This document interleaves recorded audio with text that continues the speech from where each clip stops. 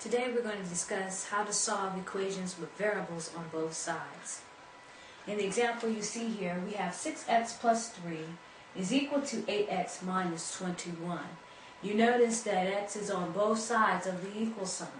So the key to solving these types of equations is trying to get all the terms that have that variable all on one side of the equation. So it's basically very important that you would do this and you have to remember how do we solve equations? We do the inverse on the opposite operation. So that is how we're going to get those variables on the same side. So what I'm going to start off by doing is subtracting 8x on both sides.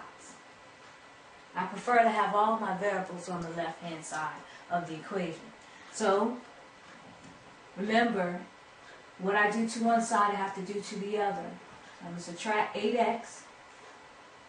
And notice when I evaluate on the right side of the equation here, 8x minus 8x is just 0. So I'm left with on the right hand side with a negative 21. Notice I'm bringing down the sign and the number. It's very important to do that. Don't drop off signs. Here I'm going to evaluate on the left side. 6x minus 8x. Remember that's the same thing as plus a negative. Opposite signs we're going to subtract. That leaves me with a negative 2x. And I bring down plus 3.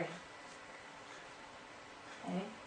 So now I have my x on the left hand side and I just have it on one side. And on the right hand side I'm just left with a negative 21. And you notice that we just have a regular two-step equation to solve for. So I'm going to do the opposite operation here.